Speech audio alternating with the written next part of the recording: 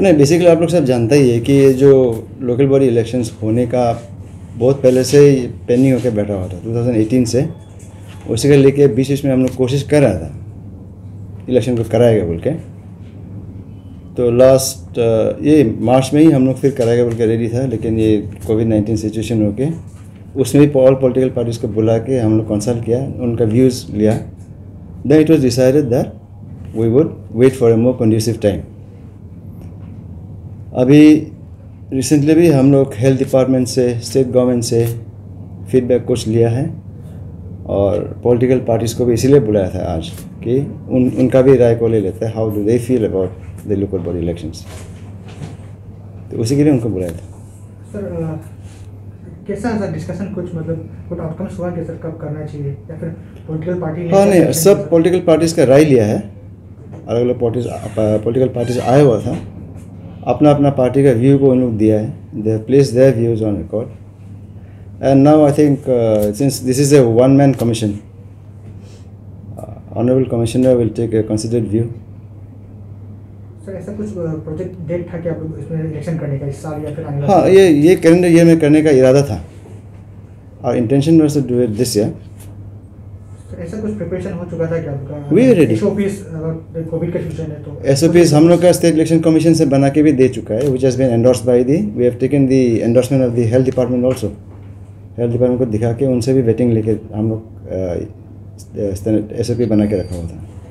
Sir तो ये discussion का ये जो आपका आउटकम्स कब तक हो जाएगा हो जाएगा हाँ ना वही हम बोल रहे हैं ना कि like we have taken the views of all the stakeholders now let the commissioner take considered view and then अगर इस साल होना था तो तो We wanted to finish it by December. Okay. Everything. Last stage also by this year.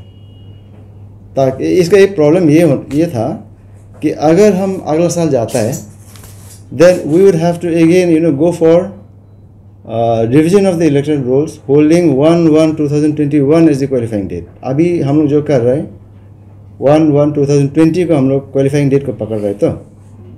तो आप लोग को तो मालूम है कि this is an ongoing process अभी जो जो ये जनवरी फरवरी मार्च ये सब में जो क्वालिफाई नहीं हुआ था, अभी तक तो कोई कोई तो क्वालिफाई हो जाता है एटीन ईयर्स हो जाता है।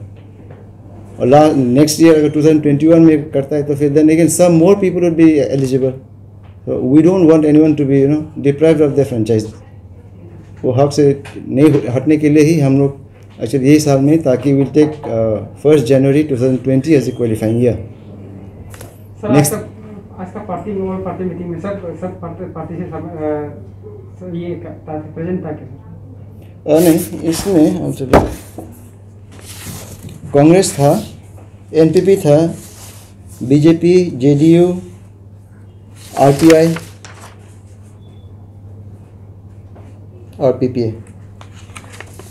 इनका क्या बात है? प्रेजेंट गवर्नमेंट में से कुछ ओपिनियन इन लोगों का सजेशन बीजेपी गवर्नमेंट में बीजेपी का था? बीजेपी का दो आया हुआ था। कुछ सजेशन ना उनका एक ये था कि जो ईटानगर म्यूनसिपैलिटी का जो ये था ई रोल था टाइम शॉर्टेज था बोल के हम लोग असेंबली ई रोल को हम लोग एडॉप्ट करके वार्ड वाइज उसको ये कराने के लिए बोला हुआ था। तो उसी को ही उनका राय था कि आप ईटानगर के लिए सेपरेटली क्योंकि टाइम नहीं था बल्कि हम लोग असेंबली रोल को एडॉप्ट किया था।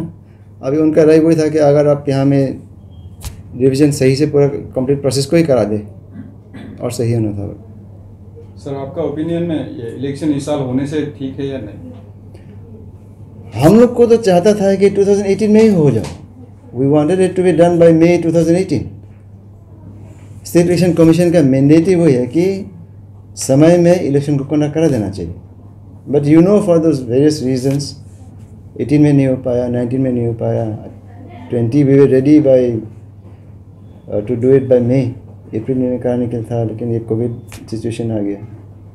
कमीशन का व्यू तो वही है कि we should do the election on time sir ये जैसे कि आप बोला आप लोग एसओपी पूरा रेडी है मतलब कि ये इलेक्शन अगर इस साल होता है बोलने से आप लोग पूरा प्रिपेयर है। तो ये वो तो जो डेवलप एरियाज़ है उसके लिए प्रिपेयर हो जो उसका क्या it is equal municipal area बोलो या पंचायत एरिया बोलो। We give as much importance to a ward in the municipality to that of a polling station in the rural areas हम लोग के तो सब सेम इम्पोर्टेंस देते हैं।